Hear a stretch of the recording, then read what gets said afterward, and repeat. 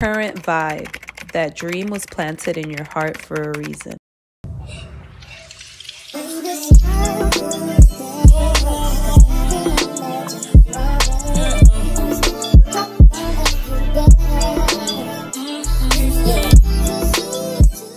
Hey babes, welcome back to my channel. If you're new here, my name is Raquel. Make sure to like, comment, and subscribe. But today, you guys can already see by the title of this video what's going to be happening, okay? I will be opening up to you guys a little bit more because I feel like as a YouTuber or a content creator that's like fully starting out, you know, I'm still new to this.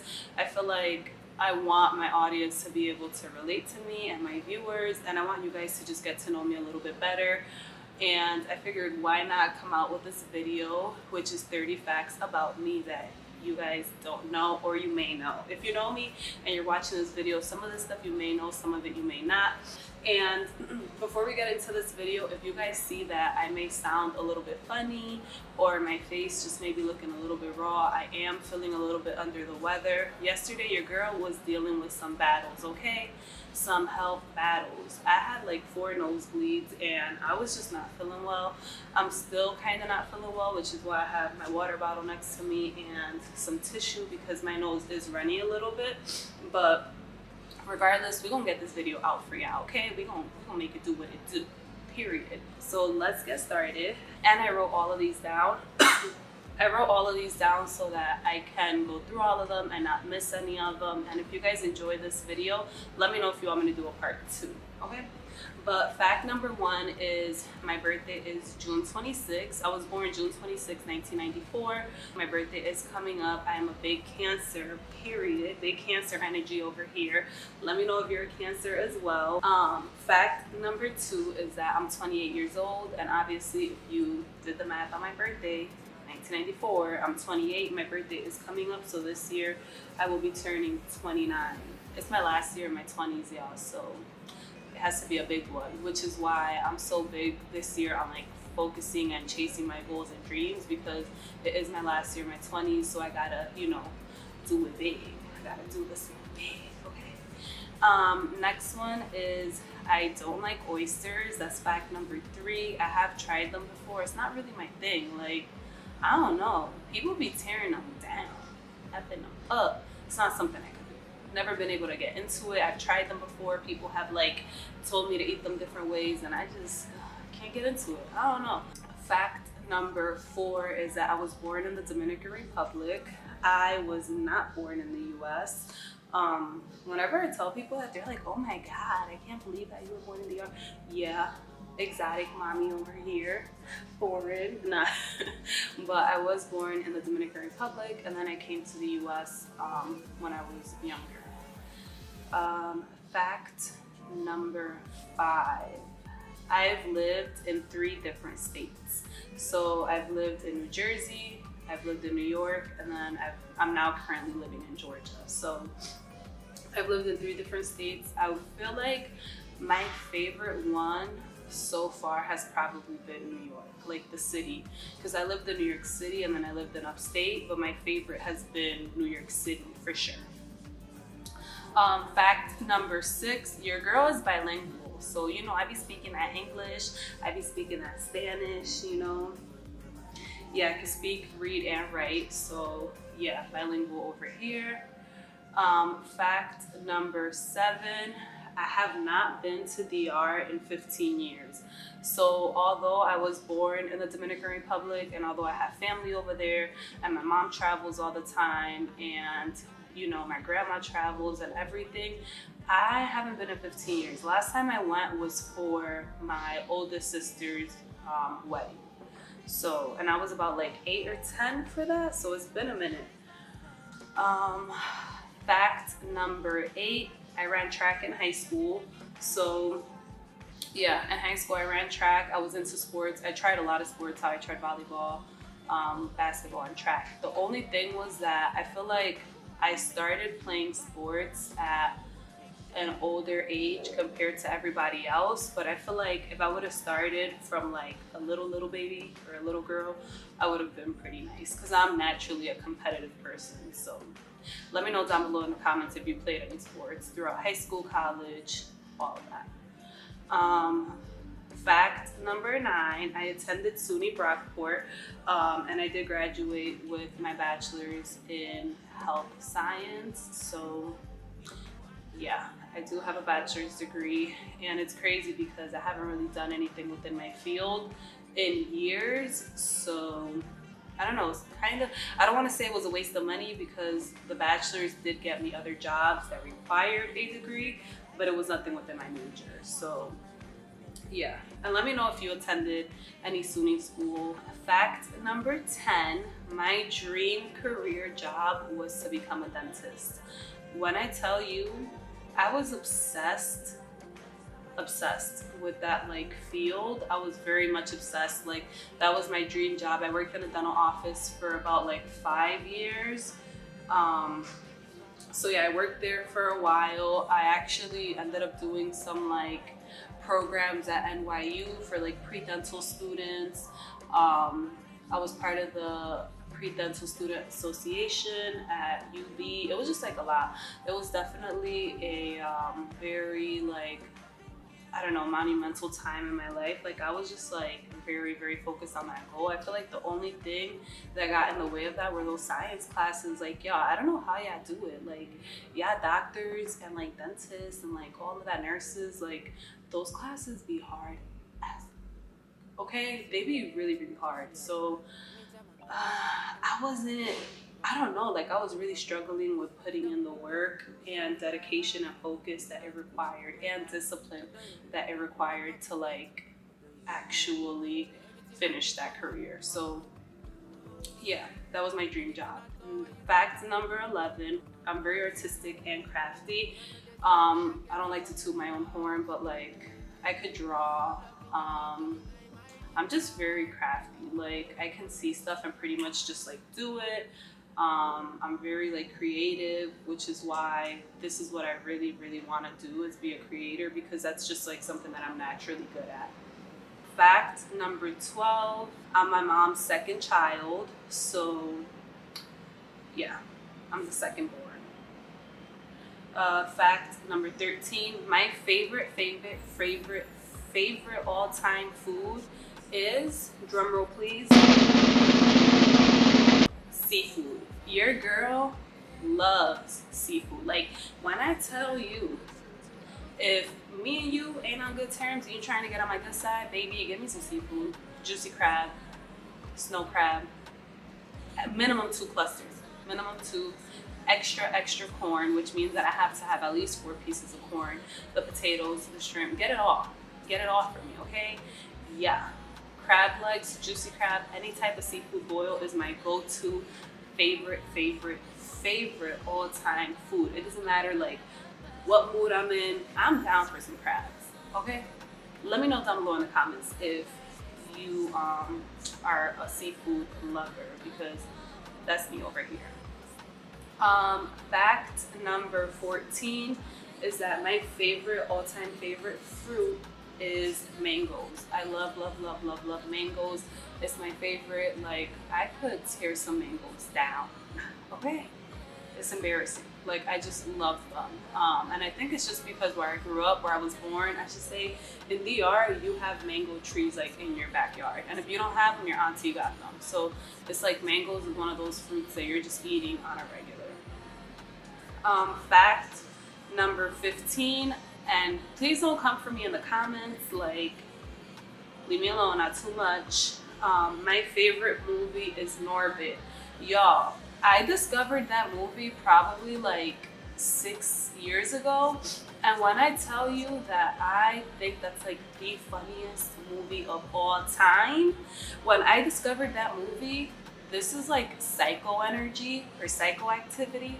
I watched it like on replay. Like once it would stop, I would replay it over and over again, probably like five times. Yeah, I know you're judging me, and that's okay. But it was just so funny to me. And it's like the more I watched it, the funnier it got.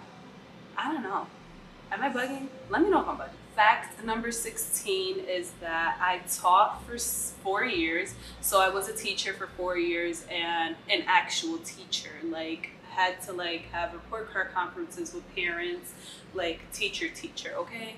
Um, but yeah, I taught for four years. I taught two years in New York and then two years here in Atlanta. This was my last year teaching. But yeah, I taught elementary school and it was definitely like a rewarding job, but it was very challenging for sure, which is why I left. And I just feel like educators don't get valued enough and we just don't like I don't know, we don't get the credit that we deserve. So if you're a teacher and you're watching this vlog, shout out to you. Shout out to you, okay?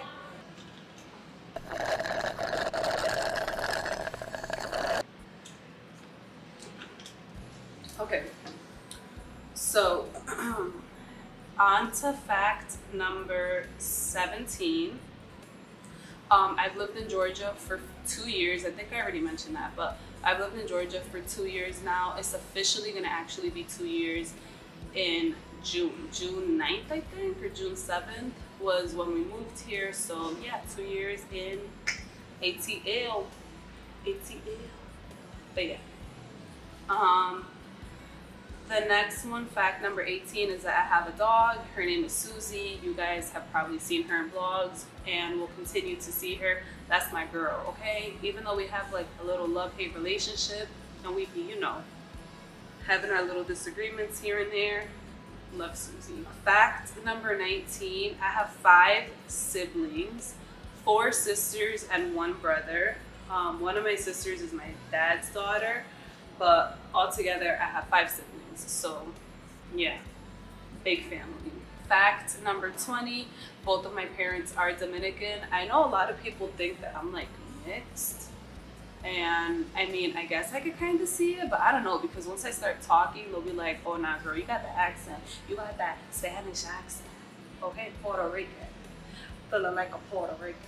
But yeah, they'll be like, you know, once I start talking, they'll hear the accent, or once they hear my last name, they'll be like, oh, nah, short Spanish. But um, yeah, I am fully, fully Dominican. Both my parents were born in DR. I was born in DR. They're Dominican. Yeah. So fact number 21 is that I didn't get my ears pierced until I was in high school. And I know you guys are probably like, girl, what? Like what the what?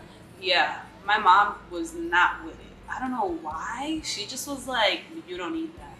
Why are you trying to do stuff to your body? You don't need that this and that. And I'm like, Ma, but I want it. She's like, nope. And actually, my aunt took me and my older sister to get our ears pierced like randomly. She's like, let's go. Y'all getting your ears pierced. Like, I don't get why y'all don't have it. And I was like, we out. We out. Let's go. What's up? Let's go get them done.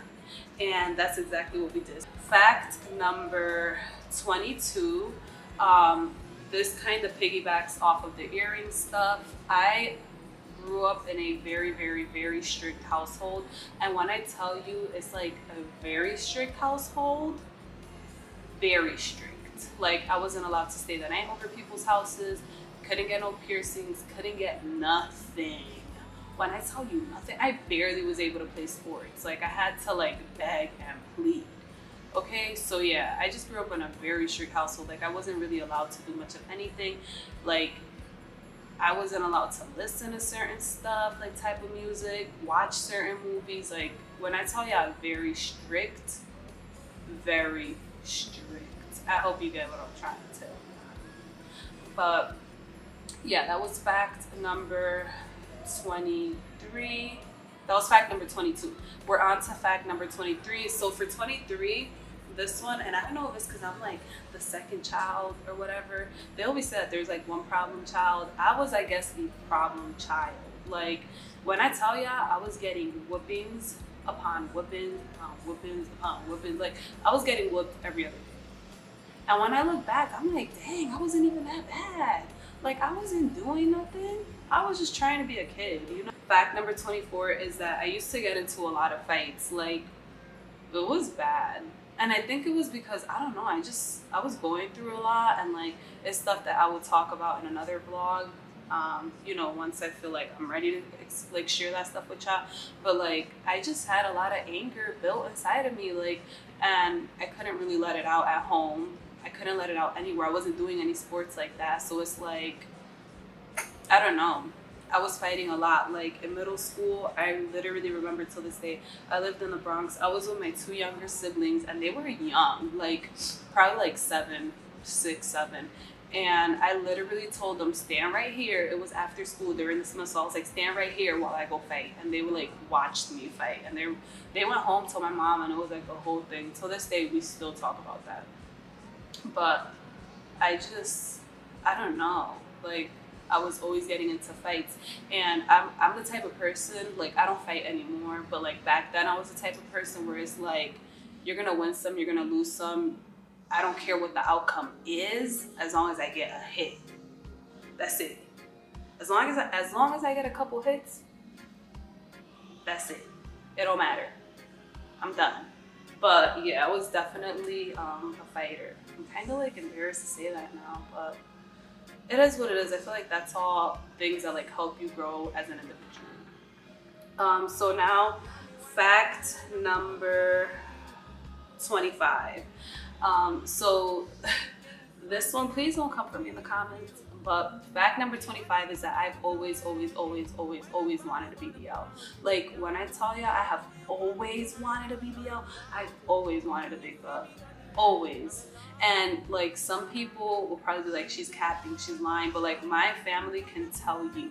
Like for high school, when I graduated, I asked, like I was joking, but not really. I asked my parents if they can gift me a BBL, like as a graduation gift. And they looked at me like I was stupid.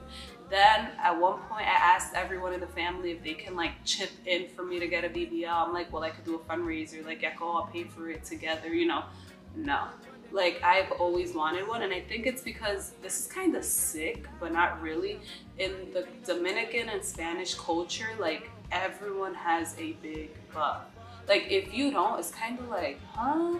You know like most Spanish women females they're known for having like curvy bodies. Hold on y'all.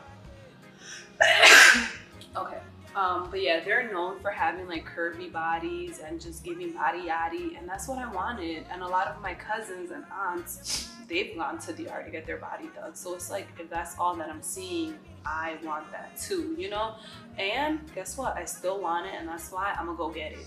Her, I'm gonna go get it. But yeah, I've always wanted one. Fact number 26: um, I lost my virginity in college, so I'm not judging anybody who lost it before then, but I waited until college to lose my virginity. Like I wasn't really pressed to like be doing all of that. And it's crazy because a lot of the guys that I dated, they actually cheated on me and we broke up because of that because they wanted to like, you know, get real nasty and I wasn't with it. I was like, no, I'm scared.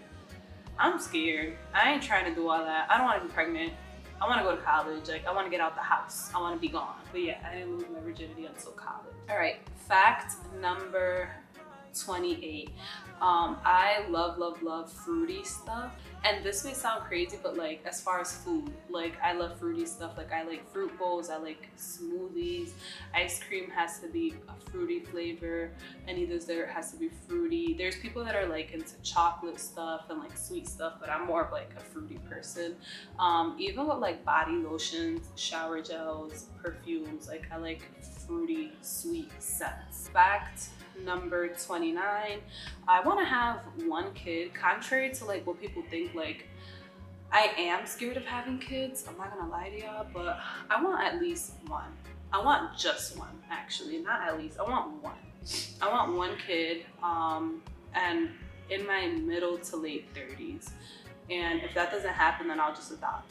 But i definitely want at least just one. Fact number 29 is that I am an introvert. A lot of people that like know me, like know me, know me, or like she's an extrovert, like she's out there. She doesn't mind talking to people, but I'm actually not like that. Like when people first meet me, they're like, dang, you got RBF. Like you look like you don't want to talk to nobody. But it's really because I'm high key, low key shy. Like I don't I don't know. I have a hard time like opening up to people, and it's probably why I only have like three friends, maybe four. But I don't really have a lot of like friend friends that I can actually say that's my friend. Yeah, no, I have like, you know, acquaintances and people that I like you know, chill and do stuff with, but actual like friends, like that's not I ain't got much of them. So yeah, that's because I am an introvert.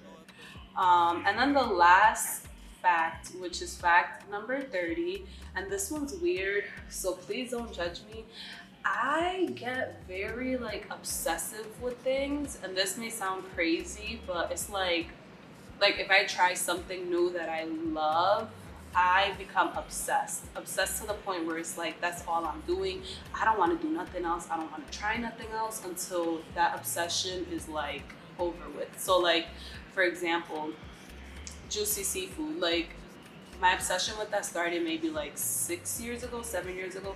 And when I tell ya I was eating crabs like every week, it had to be every single week.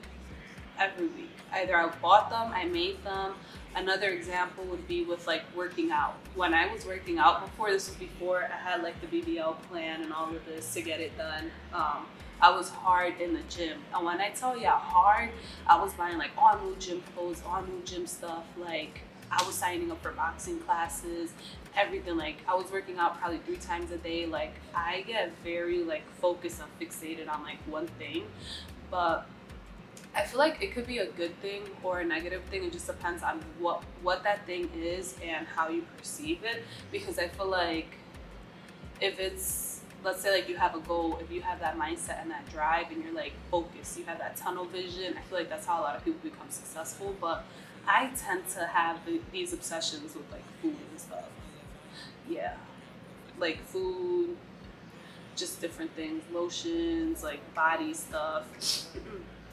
So yeah, that's fact number 30, but that's pretty much everything for this video. Let me know down below in the comments how you guys like this video, if you enjoyed it, if you want to see more of these videos, because I could definitely do a part two for y'all. I have, listen, I got a lot to talk about, a lot to open up about, and y'all still have a lot to learn about me, so let me know if that's something that you guys want but thank you so so much for watching. Thank you for rocking with me. I promise y'all that i'm going to be posting every single day and i have been committing to that and sticking to that so make sure that you're subscribed so you don't miss any other uploads that are going to be coming your way.